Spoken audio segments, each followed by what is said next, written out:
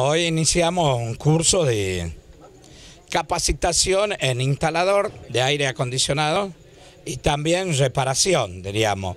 Ya lo que podemos apreciar es que los chicos en un trámite de avión están aprendiendo, son tres días intensivos de clases y fundamentalmente viene avalado con una fundación de alto nivel, de alta jerarquía en cuanto a responsabilidad que te generan y te entregan al cumplirse el curso una matrícula, una matrícula del IFET.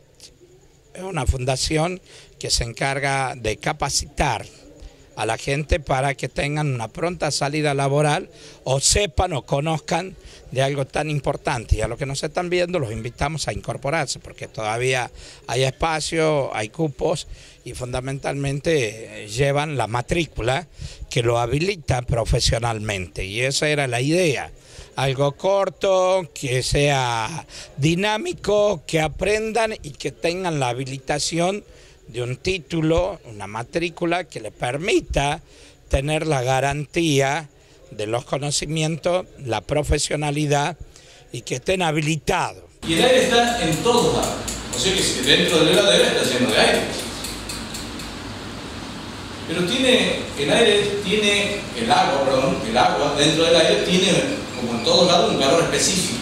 Esta es una primera etapa porque también esta misma fundación tiene otros cursos que son también de refrigeración, freezer, heladera y otras eh, instalaciones de cuestiones eléctricas, electrónicas, que hoy en estos tiempos están de avanzada en la tecnología y hace falta que vayamos formando a nuestros jóvenes. Eh, estamos comenzando con el pie derecho, vamos bien, pero bueno, vamos a ver cómo los muchachos y las chicas también, porque veo chicas que forman parte de este curso, que de una forma u otra van a tener este, el título y que con el tiempo ojalá les sea de mucha utilidad.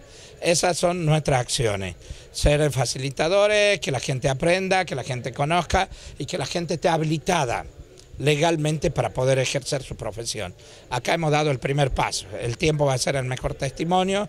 Hoy tenemos este primer curso y esta misma fundación tiene otro curso a los que vamos a ir informando. Y a ustedes de Canal 3, gracias por informar y presentar esta buena noticia, que son buenísimas para nuestros jóvenes, para nuestra gente, para los famayenses.